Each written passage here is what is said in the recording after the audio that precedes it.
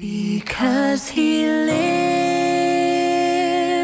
I can face tomorrow. Because he lives. Do scraps of bread mean anything to the Lord who gives us our daily bread? The Gospel of the day is about five loaves of bread and twelve baskets of leftovers. Jesus' love and compassion impels him to multiply bread to feed a multitude. As we are amazed by this miraculous deed, Jesus amazes us even further by asking the disciples to collect the scraps of bread left over, the crowd having eaten to their heart's content. In a world where vanity is the norm, this response of Jesus could be shocking to many.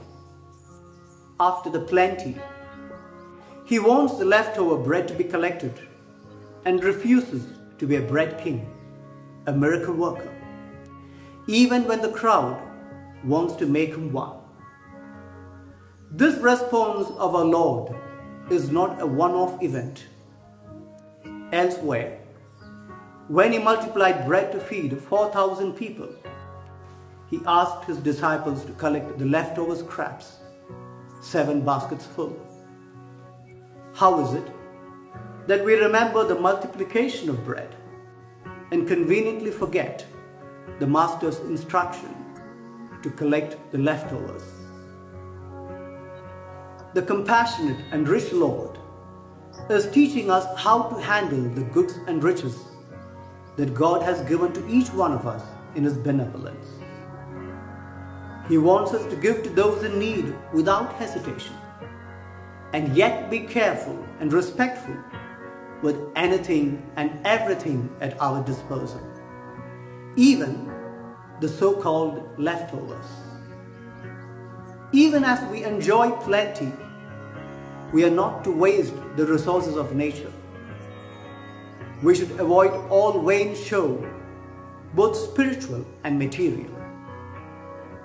Respecting the gift is respecting the giver itself. Being grateful for our daily bread. Then, and only then, shall we truly be able to join Jesus as we pray. Lord, give us this day our daily bread. Because he lives,